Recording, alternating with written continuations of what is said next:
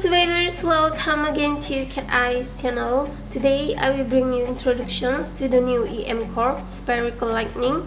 Let's take a look. What's unique about this new core is that it creates a lightning bolt in the middle. It causes traction to targets within range and continues to cause damage. Continuous shooting will continue to increase the damage. It can attack targets across cover. In other words, its attack can penetrate the leg shield the base damage of this core is not very high.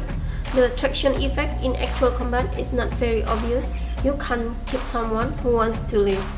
5 stars is useless, 9 stars and 12 stars are good but expensive and this core just good for the Dead High and other PvE mode.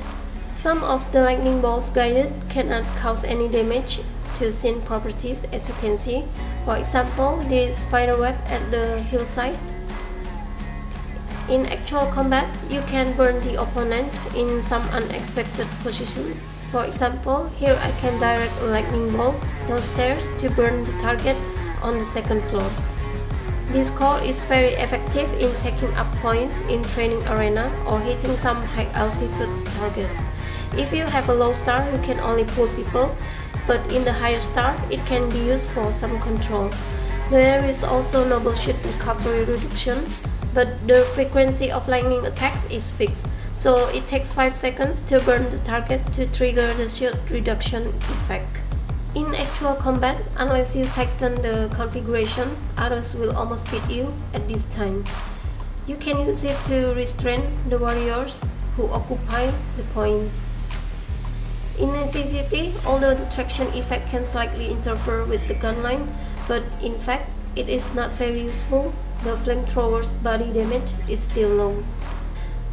At close range, it is just a tickle at best and no one can stop it. Because dragging is towards the center, it is likely to trap the warriors from far away.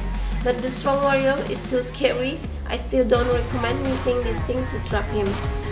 This core does not come with any firing rate chip and the maximum damage is 847. With the firing rate chip, the highest is 942 the light weapon firing rate is 12.7% at the max level. The damage is increased by about 11%. However, the ammunition consumption rate has changed from about 0.17 seconds per shot to 0.13 seconds per shot. I think it would be better to just bring some bonus chips. When you eat some food, your firing rate also will increase.